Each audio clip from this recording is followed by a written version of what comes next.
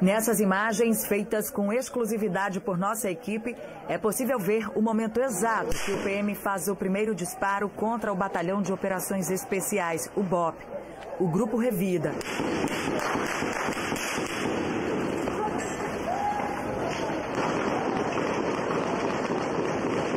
Agora a polícia tirou e matou, matou o policial.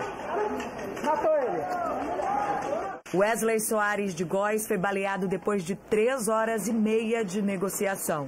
O policial, lotado na companhia de Itacaré, no sul da Bahia, veio dirigindo até a capital e chegou em Salvador por volta das duas da tarde.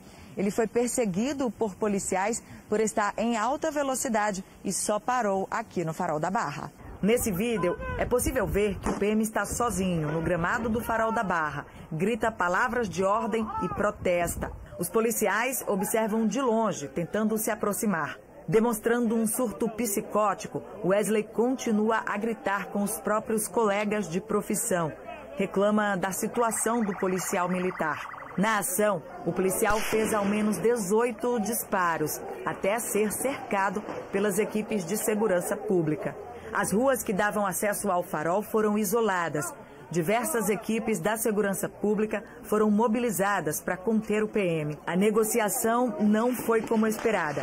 Foi possível ouvir mais de 10 disparos e o PM foi ferido. Essa negociação ela alternava em picos de lucidez né, por parte do policial e picos de, de loucura.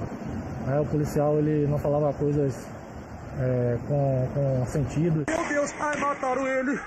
Mataram o cara, gente! Mataram ele, velho! Não, meu Deus do céu! Mataram, gente! Que dor!